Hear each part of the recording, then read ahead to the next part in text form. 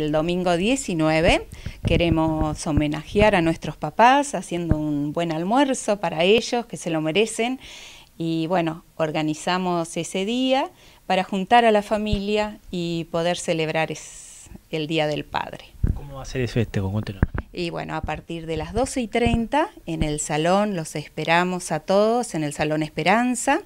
Y bueno, le vamos a ofrecer el almuerzo que es ensaladas, chorizo, eh, carne de cerdo al horno, postre y bueno, no incluye lata en la tarjeta la bebida, pero sí deben traer eh, cubiertos completos. Justamente juntar nuestra familia acá en Crespo para celebrar una fecha tan importante y de paso también reflotar nuestros tradicionales almuerzos después de un largo periodo de, de post pandemia.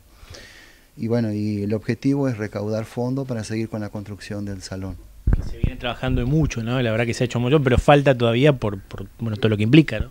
Y falta toda la parte de, hacer una estética en el frente y toda la parte de pintura exterior y bueno, vereda, maceteros y en fin, hay un montón de cosas para hacerse. Bueno, y quien quiera participar, ¿cómo puede hacer? ¿Hay que comprar la tarjeta anticipada? ¿Cómo se puede realizar? La tarjeta se pueden comprar a los distintos miembros de la comisión directiva o pasar por la secretaría.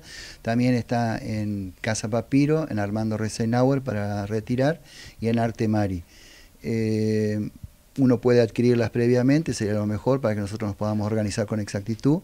Y también van a haber algunas tarjetas todavía, creo, el día del almuerzo. Qué lindo momento también para la, para la comunidad en sí, ¿no? Porque vemos que siempre se, se juntan eh, la gente de, bueno, de la, comunidad en sí, los chicos, es decir, se colabora mucho y se genera ya incluso días anteriores todo lo que es la, organización y ese mismo día. Sí, o sea, se trabaja como realmente como una familia y agradezco eh, en este espacio eh, la, la, grata predisposición que tenemos en nuestra congregación de mucha gente que dedica tiempo, sus dones de trabajar para hacer los distintos eventos y donar cosas para que nosotros en la iglesia también podamos seguir manteniéndola y, y estéticamente ustedes la ven muy linda, está todo bien mantenido y bueno, todo esto es un esfuerzo bastante grande ese desafío de seguir trabajando en comunidad ¿no? y de seguir ampliando lo que es el Salón Esperanza que, que, cada día se deja más lindo. Por supuesto, y muchas gracias a toda la gente que siempre colabora y nunca tenemos un no, así que agradecidos enormemente.